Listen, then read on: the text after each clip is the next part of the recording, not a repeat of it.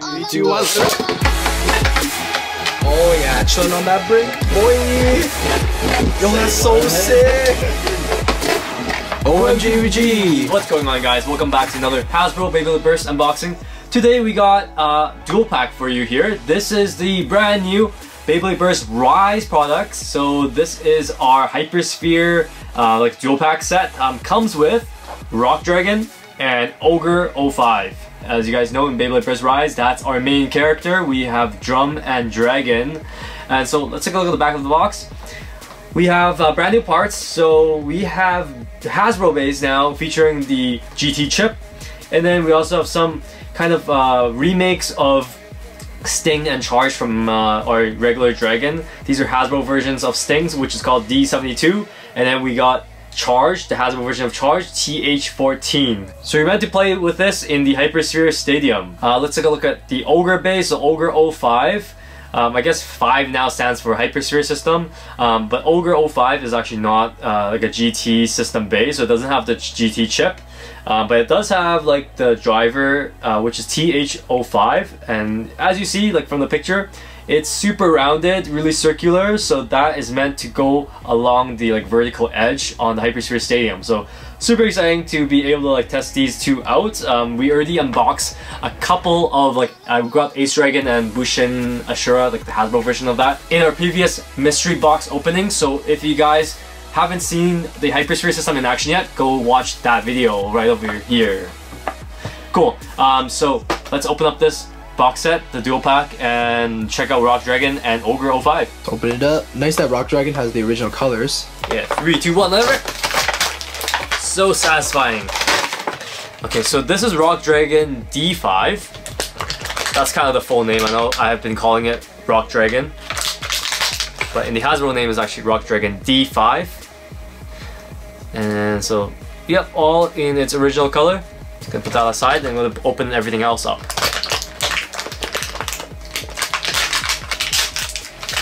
Alright, so these are the parts that we get from this brand new Hypersphere dual pack. So remember guys, this does not come with any ripcord or launcher, so um, it's kind of expected that you have like a starter pack or at least one other launcher, maybe from your like Slingshock. It's all cross-compatible, backwards compatible with your previous stuff. Um, so yeah, these are the parts we get. Rock Dragon. So original color, I'm really happy that they stuck with that. It may look like metal, but these are actually all plastic. So the paint does look pretty convincing. Um, it's silver, but don't get tricked. These are not metal. So if you put both Takara Tomy and Hasbro side by side, they look pretty similar. But if you look really, really closely, that's when you're gonna start being able to tell which one's which. The Hasbro version has more of like a matte finish. The Takara Tomy GT layers actually come in three parts. The chip, the weight, and the base. Um, in the Hasbro version, there is no weight. The weight is integrated with the base. Uh, the chip is separate. However, there are no locks. Now, sometimes when we are customizing our Takara Tomy Beyblade Burst GT Beys, we kind of look into which chip we should use because, for example, Valkyrie chip has, you know, less locks but stronger teeth.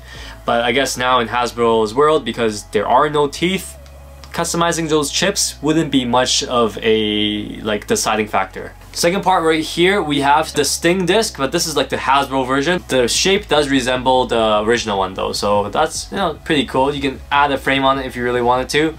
Um, again, I think they didn't want to make it too heavy just because you are supposed to be climbing those vertical walls in the stadium.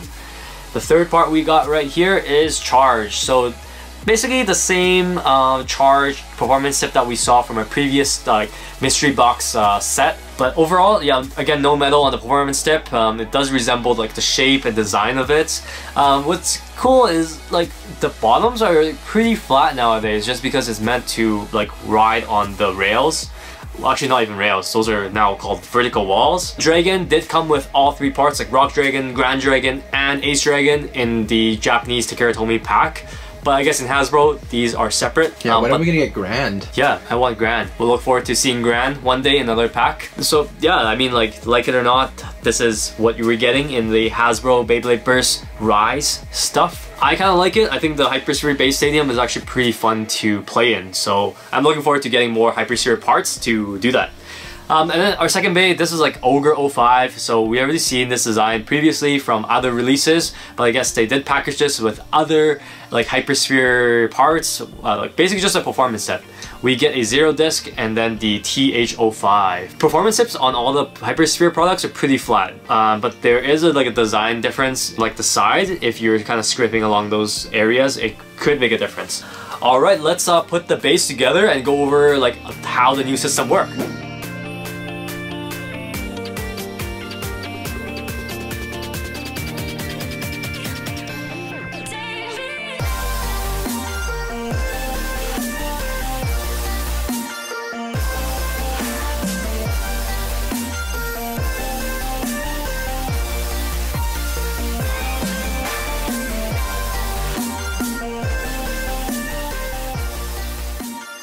Okay, so just to give everyone like a refresher if you're new to Hypersphere system. So now our energy layer, we now have the GT chip incorporated in there. So that's one extra piece that you get to customize on your base. So only some of the newer base would have that chip. So the second thing we have that's brand new is the new like grading system. For Hypersphere base, we have now the runtimes attribute and the drop-in frequency. So for the runtime, basically it's the length of time spent moving along the brink or within the battle ring. And then for drop-in frequency, it's the frequency of which the Bey drops in from the brink to the battle ring. So a little bit confusing language, but yeah, let's elaborate. Essentially, the brink is the edge of the BeyStadium. You have to climb the vertical wall, and then that outer edge is where you can kind of still travel around without going out of bounds. And then the second major component is the vertical wall. So these are the areas where you get to climb over uh, to get to the brink. And then we also have like the typical battle ring uh, area. So that's like basically just the surface inside the stadium where you get to like go head to head. All right, it's time to do a couple of test battles with the new Rock Dragon. And Ogre, don't forget Ogre. Three, Three two, two, one. Oh yeah, chilling on that brink, boy. Yo, that's so what? sick.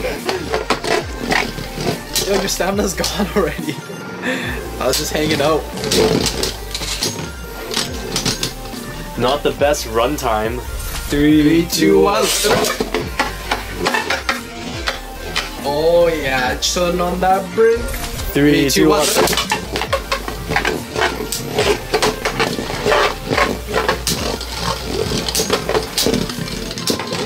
Oh no.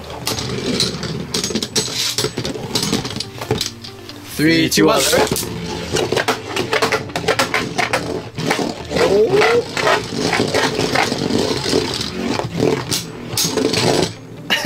Yo, how's my stamina dying? Messed you up. Three, Three, two, two, one. one.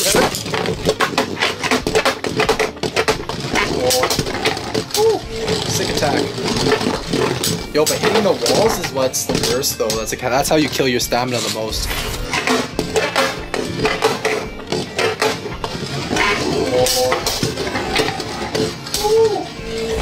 Three, two, one. Oh,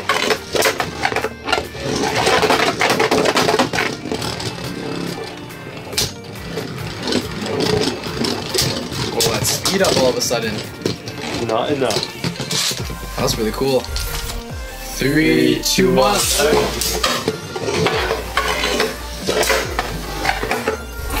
Three, two, one.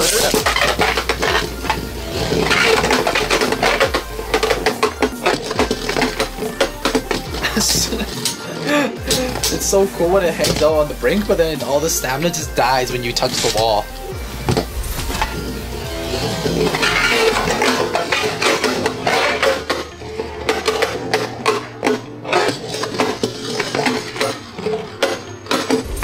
Three, two, one.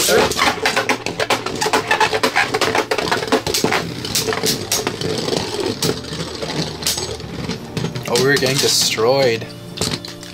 Let's do one more round. Three, Three, two, one.